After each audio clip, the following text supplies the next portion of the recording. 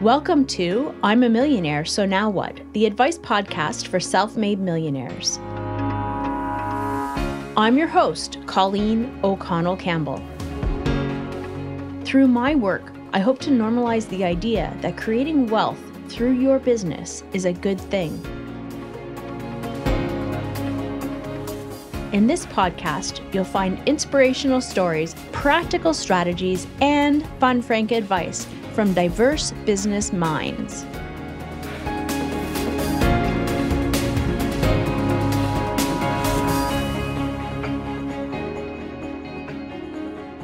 Well, hello and welcome. Colleen O'Connell Campbell here, your host. Welcome to another show. I'm a millionaire, so now what? We're back into interview mode. And you guessed it, on today's episode, you're going to meet James Chalmer, another person I've connected with through LinkedIn.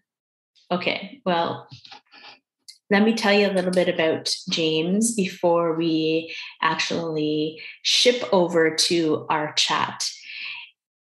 An internationally experienced strategist and executive specializing in physical products, James invests, advises, and mentors ventures and their founders from early stage development through to commercialization. So, something you should know about James. And one of the reasons I wanted to bring him on the show, amongst uh, the fact that he's exited a number of businesses, is he's not necessarily the founder. In fact, he's pretty well not the founder. He comes in at early stages but not at the very beginning. And he helps to grow and scale a business and move it on up to exit strategy.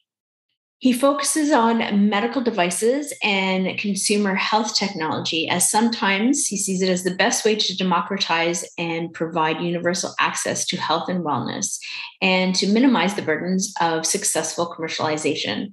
He focuses on differentiation as a long term value proposition that's been a crucial element of his success over the years.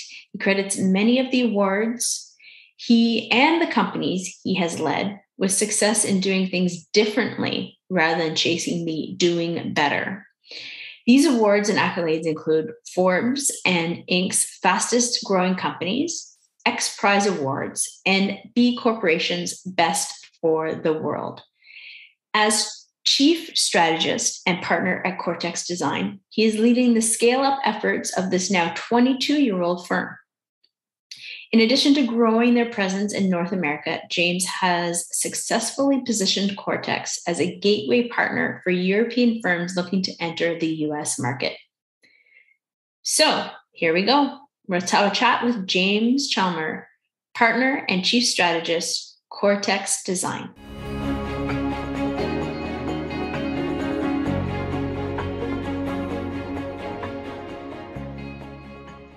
Well, James, thanks for joining us here on I'm a Millionaire, So Now What? I'm grateful that you could carve out a little bit of time. Absolutely. Glad to be here. Okay, so I've shared here um, a bit of your bio background with uh, the Self-Made Nation. So they know that you like to get involved with uh, businesses, not exactly at startup, but definitely while there's in major growth uh, opportunities and help um, substantially scale those businesses. And um, told them you've exited a few times. So I'm hoping that what we can do today is chat about um, a number of these businesses along the way and uh, how you felt that um, you contributed and what you saw um, were, were the great um, pieces uh, that came together in order to scale. And then, of course, uh, let's hear about uh, what's the the new and uh, the happening right now. How does that sound? That sounds great. Look forward perfect. to it. Perfect, perfect. So um, let's let's rewind before the businesses. Like, uh, what's your like? Why did what got you interested anyway in this uh, business scale up? Uh, you know, I I grew up on a farm, um, and you know, at a very young age, developed this fascination for growth. Um, and so, like back in the day, it would have been seeing crops grow. Uh, and today, it's you know it's working with companies or running our own companies um, and just you know seeing the same sort of growth. Um, you know, really, we'll talk about it later, I'm sure. But you know, we're always looking for opportunities to do things that that others aren't willing or aren't looking to do. And so there's something just really exciting about that for me.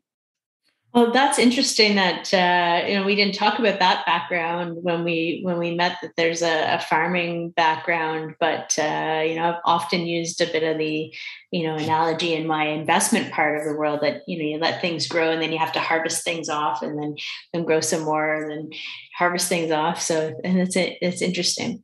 Um, okay, so um, along the way here, what would you say was the first um, solid um, venture? Was it like the first time you jumped into the into the space? Was that successful, or was there a couple of tries?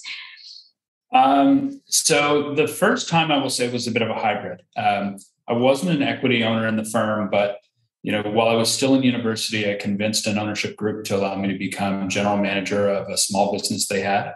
Um, and you know, at the age of 22, it's usually pretty tough to convince someone to let you take the reins over of their company.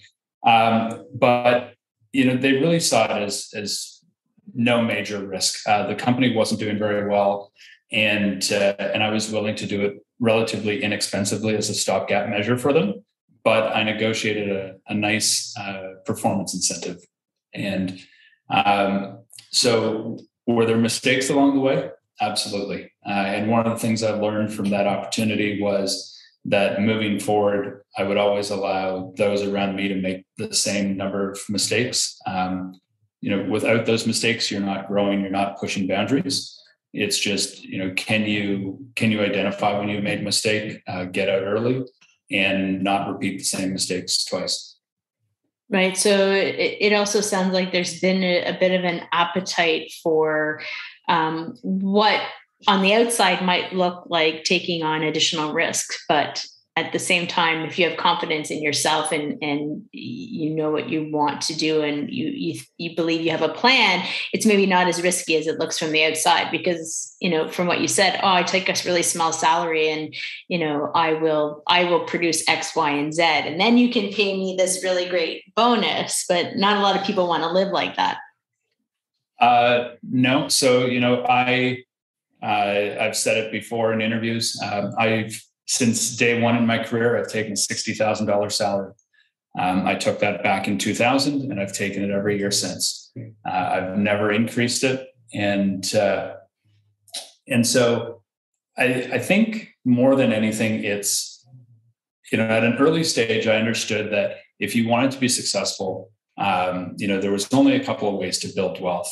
Uh, I wasn't in a position to inherit it, uh, and so for me, it was how do I how do I do more with my time? Um, how do I take on a little bit of risk in order to see that upside? I do think that there's a level of you have to have the confidence in your own abilities.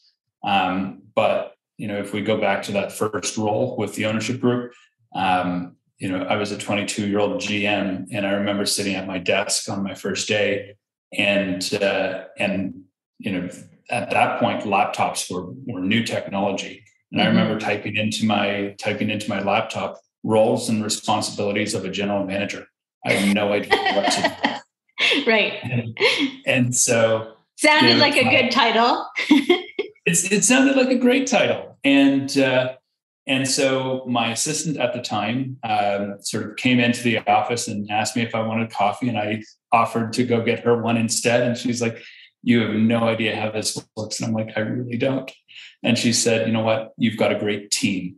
Um, and you know those words out of Aggie's mouth have have sort of have been words that I've I've woken up to every day. Um, it is about bringing you know the right people at the right time around you to to allow um, you know businesses to flourish. So that um, that first endeavor as the as a GM, um, how long uh, were you in that role, and and then take us to the you know the next step along the journey? Yeah, so that was a um, that was a small company. Um, we uh, I was in that role in a full time capacity for about five years. Um, there were a lot of micro fails along the way. Uh, I tried to do a whole host of things uh, that didn't work out. Uh, luckily, the the ownership structure allowed me to make those mistakes and um, and then just get out of them quickly. Um, but we did we did have a very successful business there. Uh, you know, when I joined it, we were sub one million. When I left, we were managing forty five million dollars worth of business, um, and so that was a a really nice uptick. Um, and you know, and it was a natural progression into another business that they had that at the time needed uh, needed some support, and so um, so I joined that company uh, uh as part of the, the process, and so that was uh, that was the hydraulic source. Okay, and so um, the hydraulic source then um, was that the next step into taking on some an ownership piece at that stage or or was there still was. a little bit more learning to do there? Uh, no so that was the first time uh, that was the first time where i started uh, having true equity positions. And so um, after a rebrand, a rebrand from the hydraulic source to hsi we focused on being a, uh, a full service warehouse sales marketing office for foreign manufacturers and uh, and so that's where I started to be able to take equity stakes in the businesses that we were uh, running Canadian and North American operations for. Okay, and um, was did that become an exit, or did that just become another? Like, did you just or did you exit? What did that look like? So that was a series of uh, of smaller exits. Um, it was also, I would say, in my entire career, it's probably the the time that I've been the riskiest. Um, I was still I was still young. I was sub thirty. Um, you know, there was an air of confidence after the first big win that I could do anything and I was invincible. And so, you know, we certainly we we took a we took a lot of risks uh, with some of the ventures that we did there. Um, I will say that you know, eleven out of twelve of them failed. Um, and that's significant, right? Yeah. It, it, it was, um, but the the the twelfth one, um, which we had sort of developed about halfway through uh, my tenureship there, um, was a huge success, and so it, it more than made up for uh, for all of the failures. But you know, in my career, I would say that that was that was really probably some of the most transformative time um, because you know, in those failures, I really was able to hone in on what I what I did as a professional and where I could create value um, for companies. I know it's said over and over again that it's the the it's when we fail that we learn the most, that we're actually growing the most. Um, and it's so easy to read that or to say that, but um, you know, to actually be able to not resist it, like to actually put your foot forward with the risk of fail, failure is is not necessarily that easy. And yet, um, that's what we see every day when uh, when people decide to take that take that step and become a business owner. Um, that that risk. So um, one out of 12 in in in school that would definitely be a failure right? But in the in the school of uh, real life uh, that is uh, that's tremendous success. What could you think of like one or two you know top highlighted things that you learned out of that experience that you would share? Yeah so number one is focus. Um, you know i I'm routinely speaking on it. I'm routinely practicing in our businesses. Um, you know, the those those failures all sort of came back to this element of, of focus, um, and it was really the idea of focusing on one thing and doing that, um, doing that differently than everyone else. Uh, not actually better, uh, just different. And so, you know, when I when I left the ownership group after about 14 years uh, together, um, I recognized that the rest of my career was going to be focused on doing things differently, um, going into markets that you know that there was just an expectation of how you might engage as a service firm or as a as a hardware uh, developer, and um, and focused on you know the areas that we could do things differently. Right. So then um, there's another couple of steps in between from the what we just talked about the um, hydraulics source. Did I get that right? And yeah, so, into towards cortex, there's a couple more steps there in the ladder, right? Yeah. So I I did uh, I did two more uh, two more businesses between. Um, spent about three years at each. Uh, one was uh, one was a consumer uh, a consumer product development firm, um, and uh, and the second was a services firm. And uh, and the services firm was was built around uh, creating infrastructure, intellectual property, and framework around leveraging partnerships for business to meet business objectives.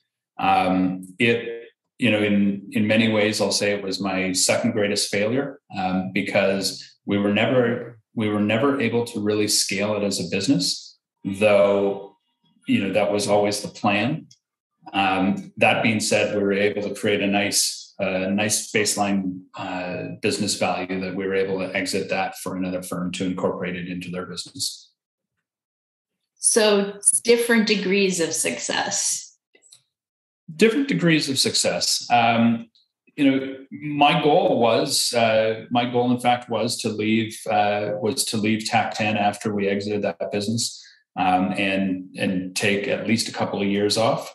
Um, I exited the business in February 2020, uh, and in March 2020, all of my travel was canceled. Um, and so that really gave me uh, that really gave me the luxury of, of being able to to sort of look back on what I had done in my career. I didn't have um, any active business interests at the time, uh, other than a couple of investments, and uh, and so I really got to think, you know, again, spend some time with my thoughts and and look at what had happened in my career uh, to this date, and um, and sort of plan for the next the next chapter. So we talked about um, when we initially connected through LinkedIn was that um, your uh, sort of zone of genius is in being able to see there's an existing company there and you're you you have this ability to see what it needs to do to get to the next level you're not necessarily um, you, know you're not the one coming up with the initial idea right like i'd like to talk about that a little bit I knew you had to go there. Um, yeah, you know, you're you're absolutely right. Um, I'm, you know, I'm the person that comes in to scale something. Uh, I'm not the person that builds it, you know, from day one. That was a big learning for me from TAC 10. Um, you know, I thought as as an entrepreneur, that meant that you had to be able to be the one to come in on day one and, and sort of create the value proposition and then take it forward. Um, I realized through that experience that that wasn't actually the kind of entrepreneur that I that I am. Um, you know, today Cortex is a 22 year old business that uh, that we're taking forward, um, and you know it has all of the pieces in place. Um, it just didn't have them in the right order to take it from where it is today to a to a truly global, global player in the space and that's what um, that's what you're going to do. Let's talk about um, Cortex just a little bit. Can you um, describe a little bit more what Cortex does? Who do you supply to? You know, what's the problem you're solving? Yeah, so Cortex is a is a full service design and engineering firm for physical products.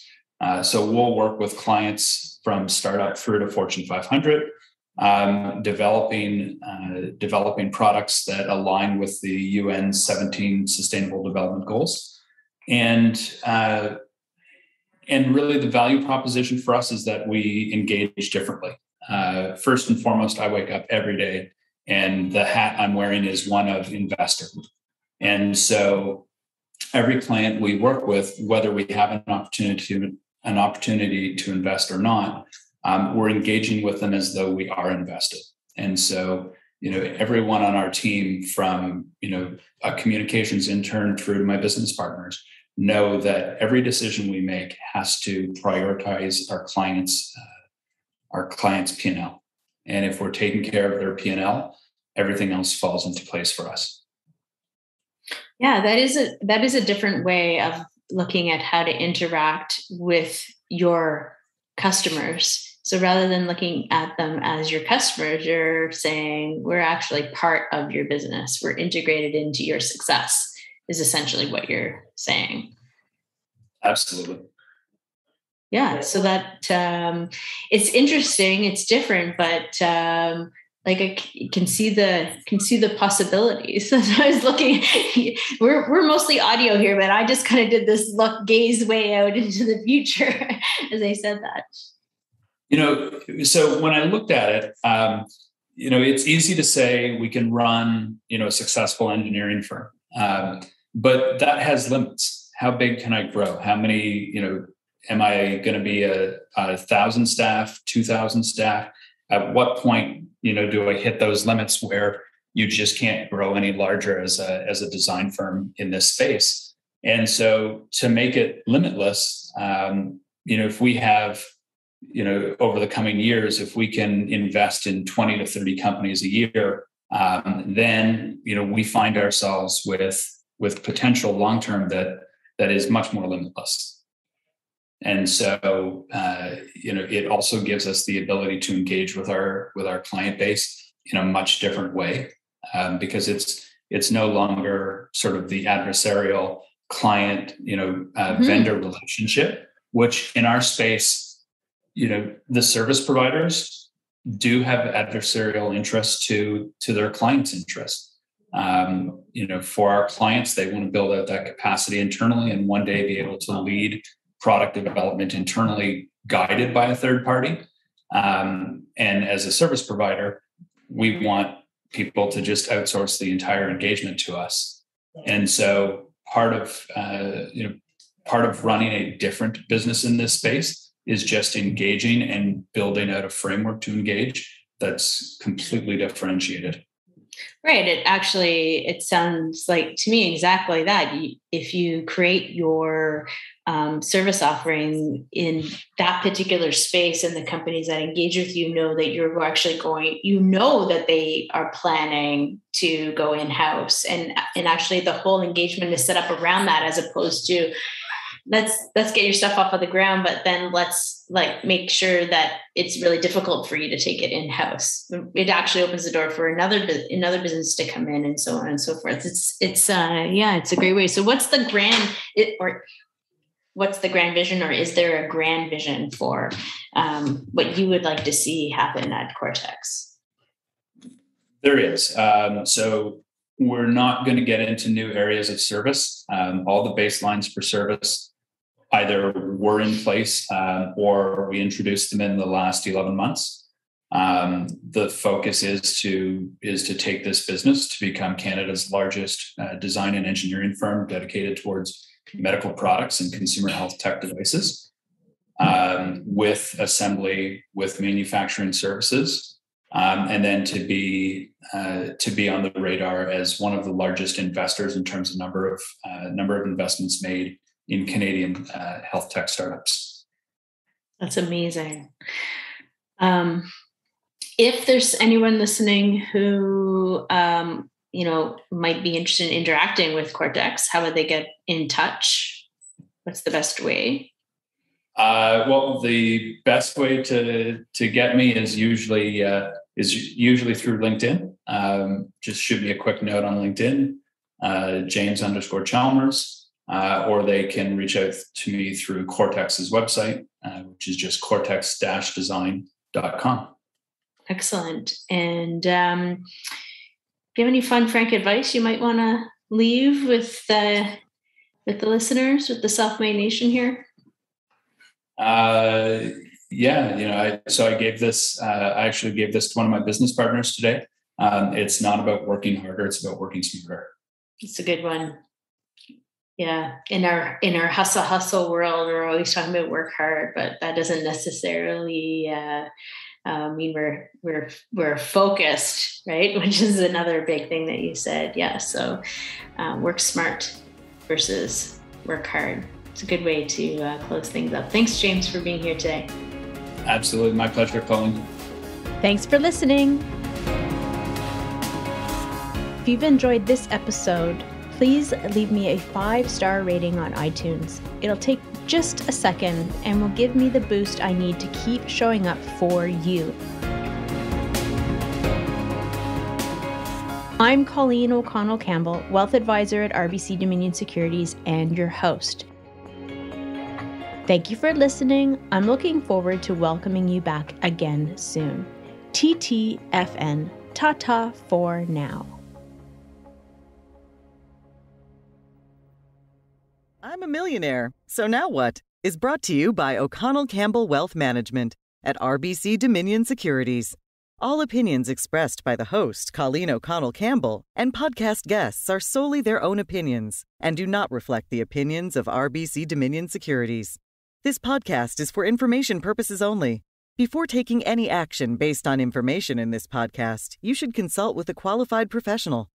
Colleen O'Connell Campbell is a wealth advisor with RBC Dominion Securities, a member of the Canadian Investor Protection Fund.